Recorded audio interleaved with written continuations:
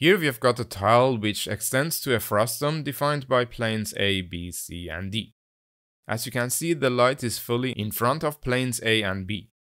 It's also partially in front of planes C and D. Since it's not fully behind any of the four planes, it will pass the intersection test, while it obviously doesn't intersect the frustum. That's why we see a rectangular shape in the heat map instead of a circle-shaped tile grid. As I mentioned, these false positives will waste work in the pixel shader, and the fewer we have of these, the more work we can avoid. Now consider a random frustum with a subfrustum that contains geometry. If any light intersects this volume, it will be included in the list of lights for this frustum. Typically the difference between the minimum and maximum depth per tile is small compared to the length of the entire frustum. Therefore, we can assume that most subfrustums are also small. We can use this to approximate such a subfrustum with a box that is aligned to the coordinate axis in view space. This is called an axis-aligned bounding box, which can be defined by two points.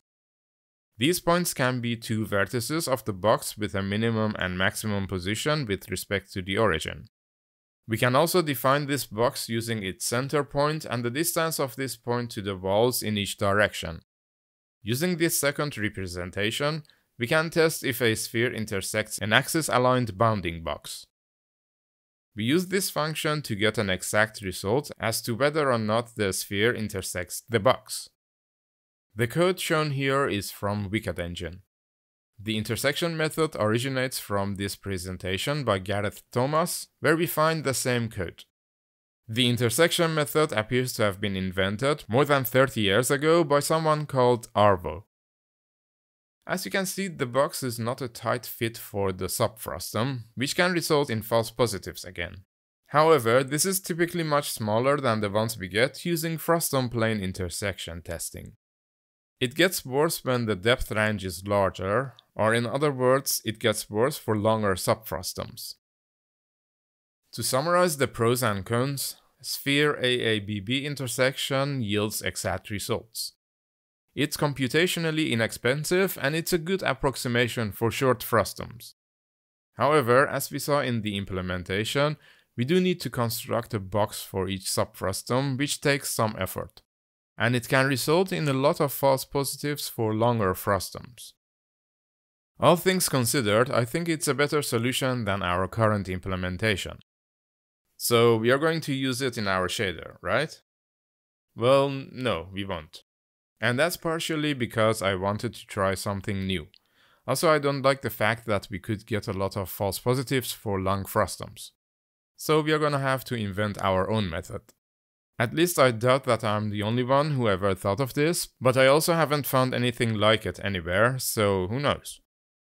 Anyway, the method that we are going to use doesn't directly use tiles to construct frustums. Instead, it uses the tile size to construct a grid of circles, which then extend to cones in 3D space. So instead of a grid of frustums, we'll get a grid of cones. Now we need to intersect the bounding spheres with these cones, specifically with a truncated cone frustum with the same depth range as we calculated in the light culling shader. Wait, but how do we do that? Well, I couldn't find an exact method for sphere-cone intersection testing that is cheap enough to be practical. The best I could find was this one from David Eberly, who has written books on collision detection and game physics, so he definitely knows his geometry stuff. However, this seems too expensive for our use case, so again I have to invent my own method. The bad news is that I'm not as smart as Mr. Eberly. However, the good news is that I am not as smart as Mr. Eberly, and I'd like to exploit this fact to our advantage. Let's have a look at the situation. Here we have a cone and the bounding sphere for a light. The cone has a length equal to the far plane of the camera view frustum, and its base radius in view space is r. We can compute the distance of the sphere's center to the axis of the cone. We can also calculate the cone radius at the point where the sphere center is projected onto the cone axis. We call this radius lowercase r. We say that the sphere intersects the cone if the distance d is less than the sum of the sphere's radius and the cone radius at the projection point.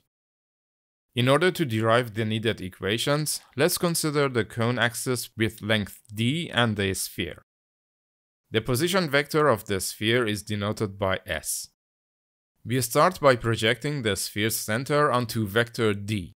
This is a simple dot product which returns a scalar value multiplied by the direction of d. We can calculate the rejection of sphere's center by subtracting the projection vector from the sphere's center position.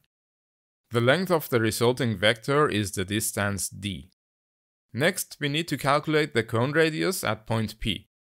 We can use similar triangles for this, which states that the ratio of r and distance p is the same as the ratio of cone base radius and the far plane.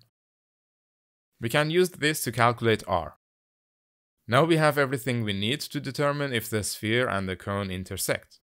However, as I mentioned, I got this result by being a dum-dum, and it means that it's pretty much wrong. At least the math is correct, but the condition for intersection is wrong. And we can see this if we look more closely at the sphere that just touches the cone mantle. You see, the sphere doesn't touch the cone at the point right above the projection of the sphere center.